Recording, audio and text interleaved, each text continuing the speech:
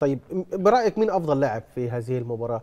تقدر تقول إن هو فعلا يعني كان الأكثر توفيقا في صفوف لاعبين يعني من وجهة نظري هو جمهور النادي الأهلي هو الأفضل في المباراة بتاع الأمس. إحنا شفنا التزام كامل من جمهور النادي الأهلي من قبل المباراة يعني المباراة كانت الساعة 8 مساء من الساعة 2 الجمهور موجود ومتواجد في استاد القاهرة بكثافة وبقوة. فبالتالي تشجيع متواصل لعيبة النادي الأهلي منذ البداية حتى نهاية المباراة.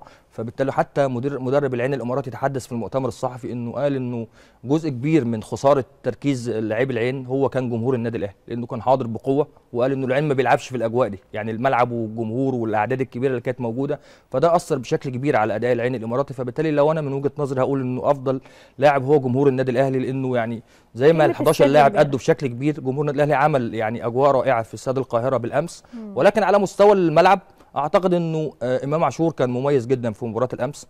في مباريات السوبر ال ال ال في المحلي في الإمارات كان ظاهر بمستوى ضعيف جدا وحتى كان يعني نال بعض الانتقادات من الإعلام أو من المحللين في سوء مستوى إمام عاشور ولكن كان متفوق جدا في مباراة الأمس أمام العين الإماراتي وادى يعني أفضلية للنادي الأهلي في الشق الهجومي يعني. طيب وهو امبارح يعني كولر إحنا لاحظنا إن هو كان قادر إن هو يقفل كل مفاتيح اللعبة على العين الإماراتي. زي ما أنت قلت هم عندهم لعيبة يعني قوية جدا زي سفيان رحيمه وغيرهم. فهو إزاي قدر يعمل ده؟ يعني تفاصيل أكتر كمان. بص هي هي طبعا طول كرة القدم أحيانا بتساعدك شوية آه. كمدرب إنك تقدر تنفذ افكارك بمعنى إنه نجاح كولر امبارح هو نفذ أفكاره اللعيبة أدت ما عليها.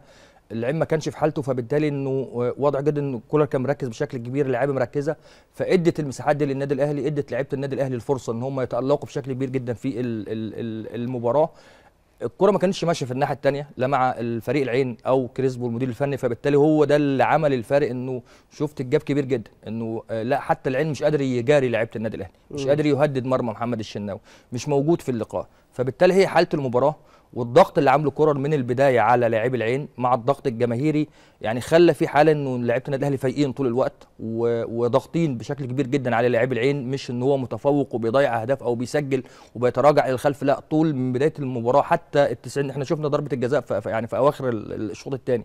فبالتالي أنت ضاغط طول الوقت على دفاعات العين الإماراتي ومنتشر بشكل كبير جدا في كل أرجاء الملعب.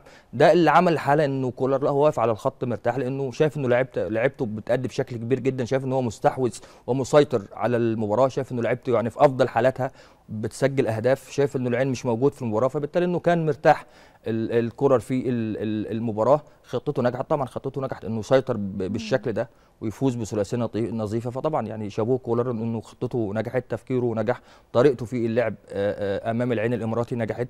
الفضل صحيح. أيضا يعود إلى لاعبي النادي الأهلي إن هم قدروا لسه فايزين ببطولة السوبر راجعين من الإمارات. فبالتالي دخلوا في الأجواء سريعا وإنه يحقق البطولة. إنه كان في كلام كتير جدا قبل المباراة. العين هو طبعا فرق كبير.